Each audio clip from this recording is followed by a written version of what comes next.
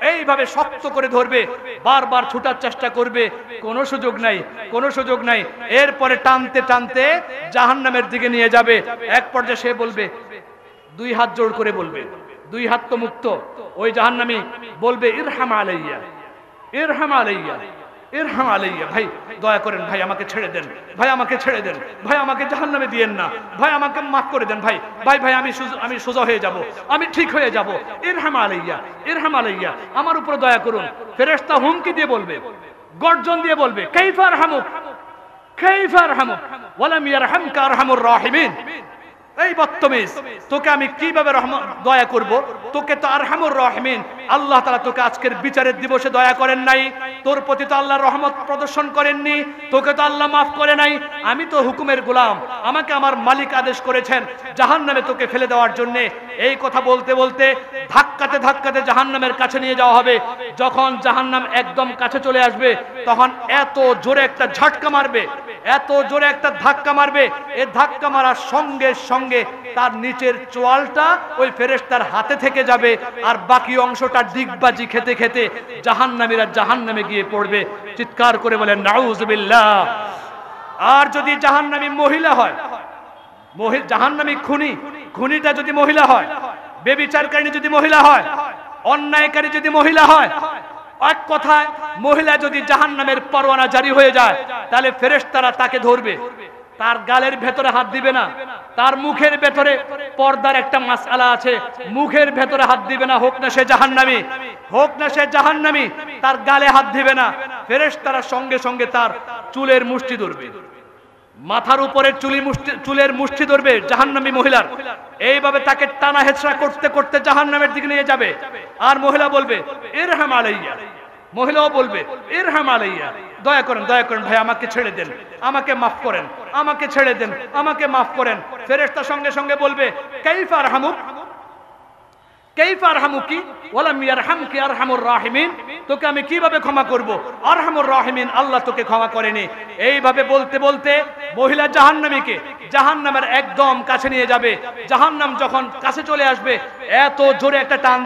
মাথার উপরের খুলিটা ফেরেশতার হাতে থেকে যাবে। বাকি অংশটা ডিগবাজি খেতে খেতে সোজা জাহান্নামের অতল গহ্বরে পড়ে যাবে। নাউজুবিল্লাহ বলেন, সম্মানিত উপস্থিতি, এই খুরিটারও পরিণাম সেটাই হবে। হ্যান্ডকাপ পরিয়ে খুনিটাকে নিয়ে যাওয়া হবে। খুনি হাজারো চেষ্টা করলে, বলেন তো, ওই মস্তকবিহীন ওই বডির হাত থেকে ওই খুনিটা কি বাঁচতে পারবে? আসতে কন কেন? জোরে কন, বাঁচতে পারবে? বলেন, কেন পারবে না? কারণ এটা দুনিয়া শক্তি নয়। এই শক্তিটা খোদা প্রদত্ত পরকালের শক্তি সুবহানাল্লাহ বলেন এই জায়গা থেকে খুনি বাঁচতে পারবে না এই জন্য খুনিকে আল্লাহ তালা জাহান নামে ছুড়ে মারবেন সম্মানিত উপস্থিতি আরেকটা হাদিস আমার মনে পড়ে যায় আল্লাহ নবীজি বিশ্ব নবীজি বলেন এই হাদিসটার বর্ণনাকারী হজরতে আবু হুরায়রা রাদিয়াল্লাহু তাআলা আনহু قال رسول الله صلى الله عليه وسلم বিশ্ব নবীজি মুহাম্মদুর রাসূলুল্লাহ সাল্লাল্লাহু আলাইহি ওয়াসাল্লাম বলেছেন لو اشترك أهل السماء وأهل الأرض في قتل رجل مسلم لأكبهم الله في النار ولا يبالي অর্থ হাদিসের অর্থ সারা বিশ্বের সমস্ত মুসলমান জমিনের সমস্ত মানুষগুলো আর আকাশের সমস্ত ফেরেশতাগুলো কথার কথা আকাশের সমস্ত ফেরেশতাগুলো ফেরেশতাগণ আকাশের সমস্ত ফেরেশতাগণ জমিনের সমস্ত মানুষেরা অন্যায়ভাবে যদি কোনো মুসলমানকে হত্যা কর্মকাণ্ডে যদি ঐক্যবদ্ধ হয়ে যায়, ঐক্যবদ্ধ হয়ে যদি আমার কোনো একজন মুসলমান বান্দাকে হত্যা করে, আবার বলছি, আমার উদ্দেশ্য হচ্ছে এ আওয়াজ চতুর্দিকে পৌঁছে দেওয়া। আপনারা প্যান্ডেলের নিচে যারা আছেন শুনতেই পাচ্ছেন, মাইকের আওয়াজ যত দূর যাচ্ছে, আপনার নবী আপনাকে বলছে, শুনুন, লাউ ইশতারাকা আহলুস সামাই ওয়া আহলুল আরদি এই হাদিসের বর্ণনাকারী হজরতে আবু হুরায়রা মুসলিম শরীফ দুই হাজার, তিন হাজার চারশো আটান্ন নম্বর হাদিস। লাউ ইস্তারাকা আহলুস সামাই ওয়া আহলুল আরদি। সমস্ত আসমানের ফেরেশতারা, জমিনের সমস্ত মানুষগুলো, বুজুর্গরা, পীর সাহেবরা, ওলামা একরামরা, শাইখুল হাদিসরা রাজনীতিবিদরা, অরাজনৈতিকবিদরা যারা আছে, ব্যবসায়ীরা এক কথায় সারা পৃথিবীর সমস্ত মানুষ মিলে, সারা আসমানের সমস্ত ফেরেশতারা মিলে অন্যায়ভাবে যদি আমার কোন মুসলিম বান্দাকে কেউ হত্যা করে, আল্লাহ নবীজি বলেন আল্লাহ তালা এই সমস্ত মানুষগুলোকে একজন মুসলমানের রক্তের বদলে, একজন মুসলমানের প্রাণের বদলে, একজন মুসল, একজন মুসলমানের রক্তপণ হিসাবে, একজন মুসলমানের রক্তপণের বদলায় ওই সমস্ত মানুষগুলোকে জাহান নামে ছুঁড়ে মারবেন। ওয়ালা মোটো পরোয়া করবেন না। জোরে বলেন না নাউজুবিল্লাহি এই মেসেজ থেকে হাদিস থেকে আমরা কি মেসেজ পাই বলুন? এই হাদিস থেকে মেসেজ পাওয়া যায়, যত বড় পাওয়ারফুল হন না কেন আপনি? দুনিয়ার যত বড় পাওয়ারফুল নেতাই হন না কেন আপনি? দুনিয়ার যত বড় পাওয়ারফুল ব্যক্তিত্বই হন না কেন আপনি? আপনাদের পুরো পুরা গোষ্ঠী মিলেও যদি আপনি কাউকে হত্যা করেন, তাহলে সমস্ত লোকগুলোকে একটা মুসলমানের রক্তপণ হিসাবে সমস্ত লোকগুলোকে জাহান নামে উপুর করে, একদম উল্টো করে জাহান নামে ছুড়ে মারতে আল্লাহ এক বিন্দু পরিমাণ সময় নেবেন না, এক সেকেন্ডের জন্য দেরি করবেন না। আল্লাহ তাদেরকে জাহান্নামের মধ্যে উল্টো করে ফেলবেন। ওয়ালা ইউবালি এবং মোটো পরোয়া করবেন না। সম্মানিত উপস্থিতি, একটা জয়ীফ হাদিস শুনেন। হাদিসটার মানগতভাবে কিছুটা দুর্বল, কিন্তু এটা নিয়ে অনেক কালাম হয়েছে, ওলামা একরাম আছে। এই জন্য ওনারাও বুঝবেন, না হলে ওনারা আমাকে ধরবেন যে এই হাদিসটা তো এতটা শক্তিশালী নয়। এটা কেন বললেন? তারপর আমি বলব, শক্তিশালী হাদিস তো দুটো একটু আগে বলেছি। তো ওটার সঙ্গে এই হাদিসের যোগসূত্র আছে, কিছুটা মিল আছে। এই হাদিসটা নিয়ে সনদগতভাবে, সূত্রগতভাবে কিছুটা আলোচনা থাকলেও শুনুন হাদিসটা। আল্লাহ আকবার। قال رسول الله صلى الله عليه وسلم বিশ্বনবীজি মোহাম্মদুর রসুল্লাহ সাল্লাম বলেছেন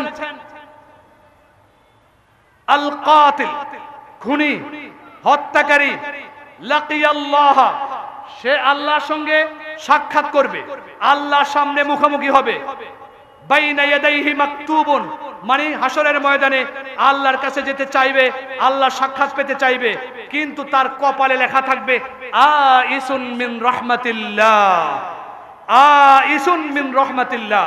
যেই ব্যক্তি কোন মুসলমানকে খুন করে, যেই ব্যক্তি কোন মহিলাকে খুন করে যেই ব্যক্তি পরকিয়ার কাটা মনে করে কোন বাচ্চাকে খুন করে, যেই ব্যক্তি পথের কাটা মনে করে কোন প্রাপ্তবয়স্ক কোন পুরুষকে খুন করে, যেই ব্যক্তি সম্পত্তির জন্য বাবাকে খুন করে, যেই ব্যক্তি সম্পত্তির জন্য ভাইকে খুন করে, যেই ব্যক্তি কোম্পানি দখল করার জন্য কোম্পানির ম্যানেজারকে খুন করে, যেই ব্যক্তি এহতেমাম দখল করার জন্য প্রিন্সিপালকে খুন করে, এক কথায় যেই ব্যক্তি সীন স্বার্থ চরিতার্থের জন্য কোন মুসলমানকে খুন করে, এই জয়ীফ হাদিসটা দ্বারা বোঝা যায়, এই ব্যক্তি হাসরের ময়দানে উঠবে, তার বাইনা আইনাইহি, তার দুই চোখের মাঝখানে লেখা থাকবে, আইসুন মিন রহমাতিল্লাহ, আল্লাহর রহমত থেকে সে বঞ্চিত, আল্লাহর রহমত থেকে সে নিরাশ, ওর ব্যাপারে আল্লাহর কোনো রহমত হবে না, ওর ব্যাপারে আল্লাহর কোনো জান্নাতের ফয়সালা হবে না, এক কথায় ও জাহান্নামের ফয়সালা হয়ে যাবে, চিৎকার করে বলেন, নাউজুবিল্লাহ।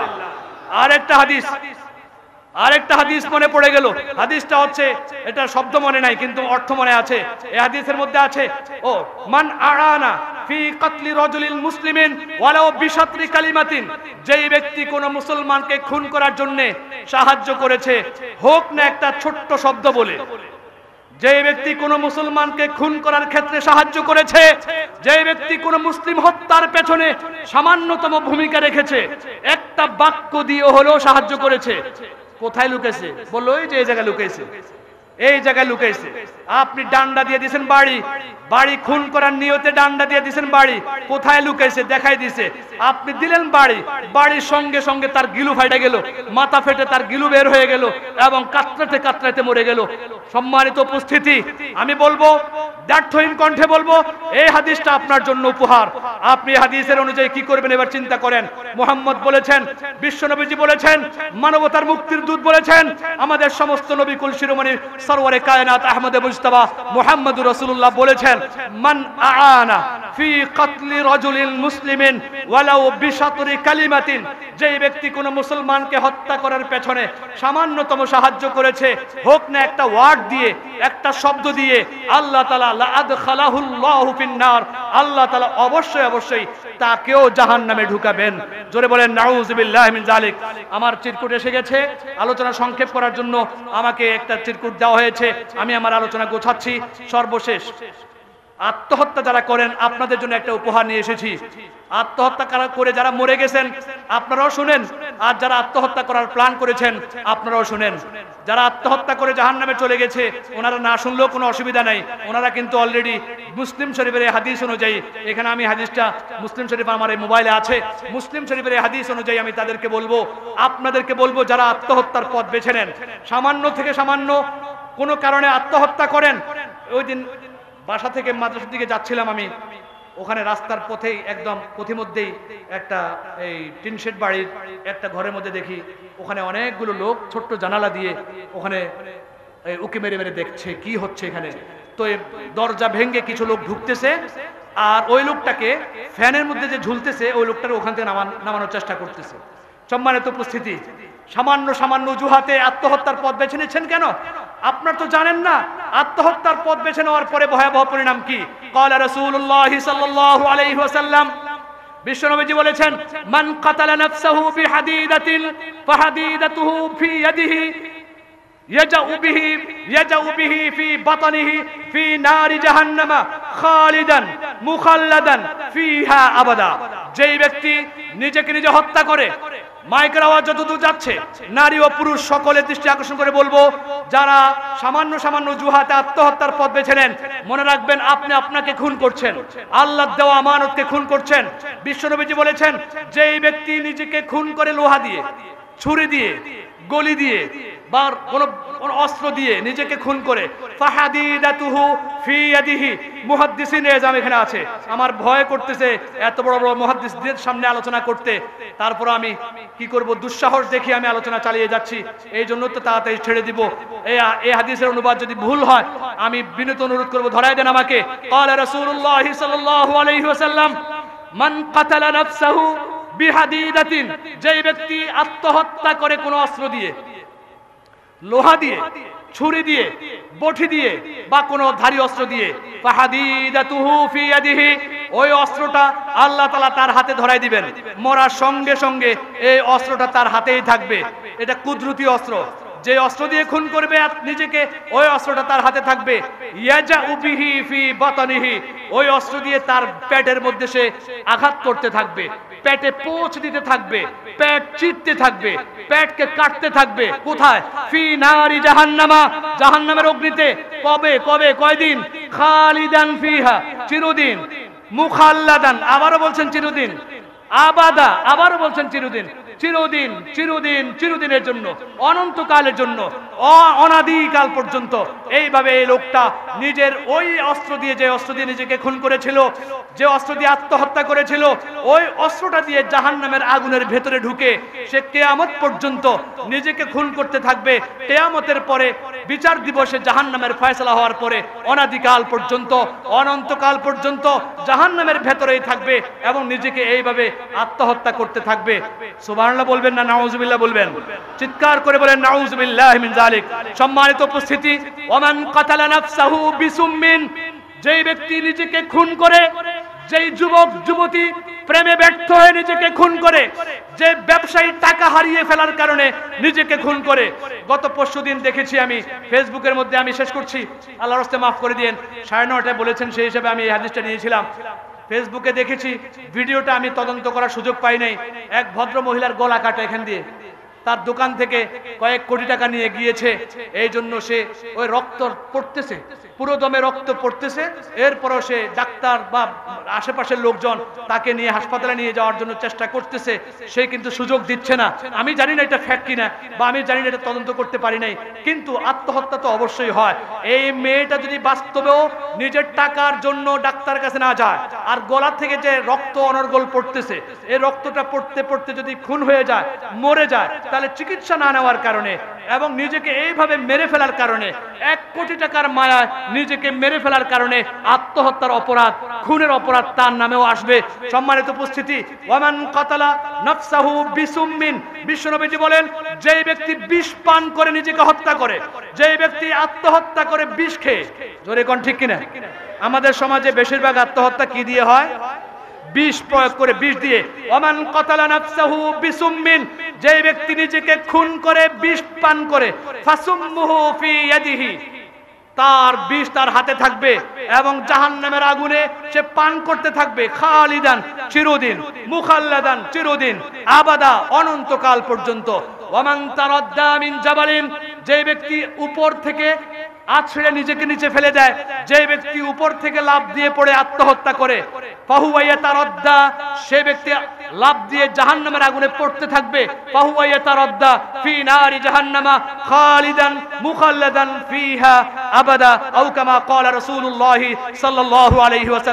আপনি মোট কথা, যে ব্যক্তি যেইভাবে আত্মহত্যা করুক, যে ব্যক্তি আত্মহত্যা করবে, যেইভাবে করবে, জাহান্নামের মধ্যে অটোমেটিকলি চলে যাবে এবং ওইভাবে তার শাস্তি পেতেই থাকবে। সম্মানিত উপস্থিতি, নিজেকে খুন করা কিংবা অন্য কাউকে খুন করা হালাল না হারাম? জোরে বলেন। আরেকটা আওয়াজ দিয়ে বলেন, হালাল না হারাম? যদি কাউকে খুন করে, হালাল মনে করে, তাহলে কাফের। কোন মুসলমানকে যদি খুন করে, হালাল মনে করে, তাহলে কাফের। আর যদি নিজের হীনস্বার্থ চরিতার্থের জন্য হারাম মনে করেই খুন করেছে, তাহলে তওবার দরজা তার জন্য খোলা আছে। জানি না তার তওবা কবুল হবে কিনা। ইবনে আব্বাস রাদিয়াল্লাহু তাআলার বক্তব্য দ্বারা বোঝা যায়, তার তওবা কবুল হবে না। আল্লাহই ভালো জানে, বাকিটা কি ওলামা একরাম বলবেন। সম্মানিত উপস্থিতি আর একটা হাদিস দিয়ে আমি শেষ করছি। ছোট হাদিস, প্রিয় নবীজি, বিশ্ব নবীজি মুহাম্মদুর রাসূলুল্লাহ সাল্লাল্লাহু আলাইহি ওয়াসাল্লাম একদিন বাইতুল্লাহ তওয়াফ করতেছিলেন বাইতুল্লাহ। বাইতুল্লাহ তওয়াফ করতে করতে তওয়াফ করা অবস্থা বলেন, ও আল্লাহর ঘর, ও বাইতুল্লাহ, ইন্নাকা লাযীমুন নিঃসন্দেহে তুমি অনেক বড়, অনেক সম্মানী। তোমার মান, তোমার সম্মান আল্লাহর কাছে অনেক অনেক অনেক বেশি। তবে আমি বলব, মোহাম্মদ, আমি মোহাম্মদ বলব, তবে আল্লাহর কাছে একজন ইমানদারের সম্মান তোমার চেয়েও অনেক বহু গুণে বেশি। সুবহানাল্লাহ বলেন। একজন মুসলিমের সম্মান একজন ইমানদার ব্যক্তির আজমত, একজন মুসলমান বান্দার কদর, একজন মুসলমান বান্দার পাওয়ার আল্লাহ তালার কাছে বাইতুল্লাহর চেয়ে অনেক অনেক দামি বেশি। এটা মোহাম্মদের বাণী। এই জন্য একটা মানুষকে খুন করার অর্থ হচ্ছে বাইতুল্লাহর চেয়েও দামি একটা জিনিসকে নষ্ট করে ফেলেছেন। এই জন্য আমি উদাত্ত আহ্বান জানিয়ে শেষ করছি। আল্লাহর ওয়াস্তে আমাদের সমাজগুলো থেকে খুনের যে ঘটনাগুলো প্রচুর পরিমাণে হচ্ছে, আমরা সবাই ফিরে আসি। খুন করার পরে যে ভয়াবহ শাস্তি আমার জন্য অপেক্ষা করছে, এটা জেনে নেই। এবং এই অনুযায়ী জেনে নিজের জীবনটাকে পরিচালিত করার চেষ্টা করি। আর পরিশেষে আত্মহত্যা করার যারা ছক আঁকতেছি, আত্মহত্যা করার যারা প্ল্যান আঁকি, মাঝে মাঝে বিভিন্ন কারণে তাদেরকেও বলব, আপনার পরিণাম কি হবে, আমি আপনাকে শুনিয়ে দিয়েছি। আল্লাহ আমাদেরকে বুঝার তৌফিক দান করুন। ওমা আলাইনা আসসালামু আলাইকুম ওয়া রাহমাতুল্লাহি বাধা হওয়ার কারণে মেরে ফেলে। আমার প্রত্যাশিত পদ, আমার প্রত্যাশিত বিভিন্ন উদ্দেশ্যে যে লোকটা কাটা, সেই কাটা মনে করে যাকে উড়িয়ে দেয়। তিন কারণের যদি কোনো কারণে পড়ে, তাহলে জাহান্নাম, সে যাবে না। তিন কারণের কোনো কারণে পড়ে নাই, অন্যায়ভাবে খুন করেছে খোদার কসম। তার শাস্তি হবে জাহান্নাম এবং চিরদিনের জাহান্নাম। আল্লাহর গজব তার উপরে পড়বে, আল্লাহর লানত তার উপরে পড়বে। জাহান্নামের মধ্যে রকমারি, মারাত্মক মারাত্মক শাস্তির প্রতিনিয়ত আল্লাহ নতুন নতুন শাস্তির ব্যবস্থা তার জন্য করবে, চিৎকার করে বলে কয় কারণে মুসলমানকে খুন করা যায় নাম্বার এক, কে বলেছেন? হযরত ওসমান হযরত ওসমানকে যখন বয়কট করে রাখা হয়েছিল কয়েকদিন পর্যন্ত ওনার শত্রুরা বয়কট করে রেখেছিল, চতুর্দিকে বন্দি করে রেখেছিল। একদিন হজরতকে যখন হত্যা করা হবে এবং খুন করা হবে হজরত বুঝে ফেলেছেন। হজরত তখন ভেতর থেকে চিৎকার করে করে বললেন, আমার মুসলিম ভাইয়েরা, আমি যতদূর জানি একজন মুসলমানকে তিন কারণে খুন করা বৈধ। একজন মুসলিমকে তিন কারণে হত্যা করা যায় একজন মুসলিমকে তিনটা কারণে হত্যা করা বৈধ। আমার জানা মতে আমি তিন কারণের, কোনো এক কারণে পড়ি না। তোমরা আমাকে খুন করতে কেন চাচ্ছ? তোমরা আমাকে কেন খুন করবে? আমি তো তিন কারণে বৈধ, তিন কারণের কোনো কারণে পড়ি না। আমাকে কেন খুন করতে যাচ্ছ তোমরা? আমি যতদূর জানি বিশ্বনবীজি বলেছেন কোরআন এবং হাদিসের জ্ঞান চর্চা করলে যেটা পাওয়া যায়, একজন মুসলমানকে তিন কারণে বৈধ, হত্যা তিন কারণে বৈধ, তিন কারণে খুন করা জায়েজ। নাম্বার এক যে মুসলমান বিবাহিত, নারী হোক কিংবা পুরুষ, বেবিচার করেছে বেবিচারে লিপ্ত হয়েছে। ওই মুসলমানকে প্রকাশ্যে ইসলামিক সরকার সরকার প্রধান কিংবা তার প্রতিনিধি, তিনি লোক প্রকাশ্যে এসে তাকে রজম করবে, রজম। রজম মানে কি? রজম মানে হচ্ছে তাকে পাথর মারতে মারতে মানুষের সামনে তাকে মেরে ফেলা হবে। এই একটা কারণ বৈধ। বিবাহিত বেবিচারকারী, বিবাহিত জানি, বিবাহিত বেবিচারকারী বিবাহিত আকাম কুকামকারী যেই মহিলা কিংবা পুরুষ বেবিচার করেছে, তাকে ইসলামিক সরকার যদি থাকে, তাকে লোক প্রকাশ্যে এনে হত্যা করবে, পুরুষকে হত্যা করবে ওপেনলি মহিলাকে হত্যা করবে, বুক পরিমাণ গর্ত করে তাকে পাথর মারতে মারতে খুন করে ফেলা হবে। এই উদ্দেশ্যে তাকে খুন করা সম্পূর্ণ জায়েজ। কোনো পাথর মারনেওয়ালা গুনাহগার হবে না। ওই হত্যাকাণ্ড ঘটাতে গিয়ে যারা যারা শরিক হয়েছে, কেউ গুনাহগার হবে? না। আল্লাহ আকবর বলেন এই কারণে খুন করা বৈধ। একটু সবর চাই আপনাদের, ধৈর্য সহকারে শুনতে হবে। বিষয়গুলো ক্লিয়ার করতে হবে। এগুলো না জানার কারণে আমি সাধারণ সাধারণ অজুহাতে মানুষকে মেরে ফেলি। এই সমস্যাগুলো, এই ভয়াবহতা জানা না থাকার কারণে আত্মহত্যার পথ বেছে নেই। আমি প্রেমে ব্যক্ত হয়ে আত্মহত্যার জন্য ফ্যানের মধ্যে রশি ঝুলিয়ে আমি আত্মহত্যা করি। আমি ব্যর্থতার গ্লানি বইতে বইতে ব্যর্থ আর ক্লান্ত হয়ে আমি ট্রেনের চাকার নিচে গিয়ে কাটা পড়ি। আমি আত্মহত্যা করি, আল্লাহর কসম।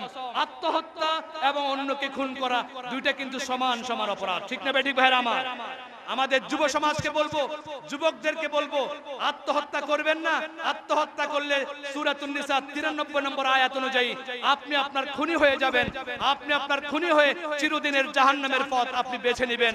এই জন্য আত্মহত্যাকারীদের জন্য এই আওয়াজ অন্যকে খুন করার জন্য এ আওয়াজ পরকীয়ায় ব্যর্থ হয়ে কাউকে খুন করার জন্য এ ওয়াজ এবং নিজের পথের কাটা মনে করে অন্য কাউকে যেই কোনো অস্ত্র দিয়ে প্রকাশ্যে মেরে ফেলার জন্য এই ওয়াজ। আল্লাহ আমাদেরকে হেদায়েত দান করুক। জোরে কোন আমিন? নাম্বার দুই। দুই নম্বর যেই কারণে কাউকে খুন করা যায়, সেটা হচ্ছে কোন মুসলমান যদি অন্য কোন মুসলমানকে অন্যায়ভাবে খুন করে, তাহলে তার প্রতিশোধ নেওয়ার জন্য কেসাসান কেসাসের হিসাবে, রক্তপণ হিসাবে তার গলায় তরবারি চালিয়ে তাকে হত্যা করে দেওয়া এটা জায়েজ। সুবহানাল্লাহ বলেন। আল্লাহু আকবার বলেন। কোন মুসলমানকে খুন করা বৈধ খুন বৈধ খুন দুই নম্বর। সেটা হচ্ছে তুমি কেন ওকে খুন করলা? অন্যায়ভাবে কেন তাকে খুন করেছ?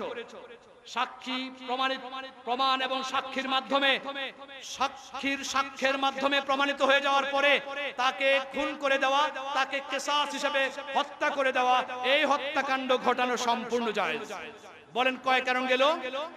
দুইটা কারণ। মজার কথা সামনে আসতেছে নবীজি, যেটা বলেছেন, এটা পরে বলতেছি।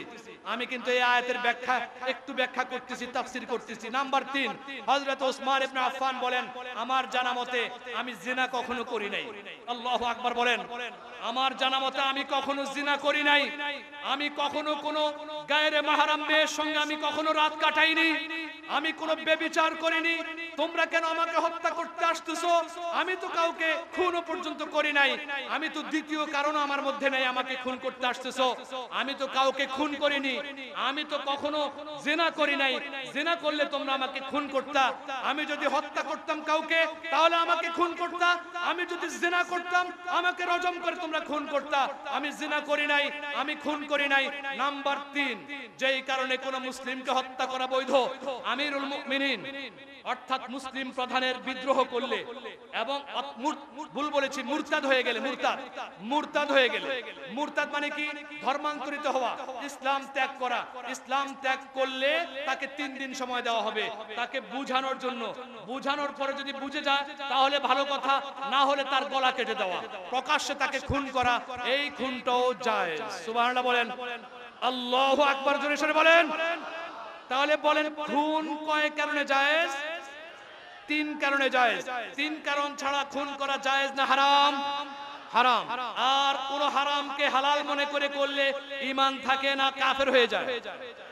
কোরআনে বর্ণিত কোন হারামকে কোরআনের বর্ণিত কোন হারামকে, নুসুসে কাতঈয়া দ্বারা প্রমাণিত কোন হারামকে যদি কোনো ব্যক্তি হালাল মনে করে করে, যে ওরে উড়িয়ে দেওয়া যায়, ওরে খুন করা যায়, ওরে গুলি মার, আদেশ দিয়ে দিয়েছেন, ওরে গুলি মারে উড়ে দে, ওরে ওরে মাটির নিচে নিয়ে যা, ওরে দুই টুকরা করে দে, এইভাবে যদি আপনি একটা হারাম কাজকে যদি হালাল মনে করে করেন, আল্লাহর কসম করে বলছি, আপনার ঈমান থাকবে না।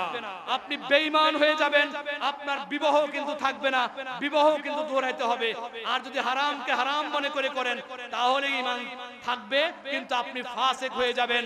মৃত্যুর পরে আপনার জন্য জাহান্নামের ফয়সালা হয়ে যাবে। সম্মানিত উপস্থিতি, এই আয়াতের অনুবাদ এবং ব্যাখ্যা, সামান্য ব্যাখ্যা আমি আপনাদের সামনে তুলে ধরেছি। যেই ব্যক্তি কোনো ইমানদারকে অন্যায়ভাবে ইচ্ছাকৃত হত্যা করবে, তিন কারণের কোন এক কারণ ছাড়া ইচ্ছাকৃত হত্যা করবে, তার গন্তব্য হবে জাহান্নাম। আল্লাহর গজব তার উপরে পড়বে। আল্লাহর লানত তার উপরে পড়বে এবং চিরদিনের জাহান্নামের ফয়সালা তার জন্য হবে এবং নতুন নতুন ভয়াবহ শাস্তি জাহান্নামে তার জন্য বরাদ্দ করা হবে, ব্যবস্থা করা হবে। পরিণাম নিয়ে, খুনির ভয়াবহ পরিণাম নিয়ে একটা হাদিসে পাক তেলাওয়াত করেছি। এই ভয়াবহ পরিণাম যদি জেহানে গেঁথে রাখতে পারি, আত্মহত্যার পথ কখনো বেছে নেব না। কাউকে খুন করার জন্য কখনো বেছে নেব না। আমি কখনো আমার যত বড় স্বার্থই থাকুক, আমি কাউকে কোনো মুসলমানকে খুন করার পথ বেছে নেব না।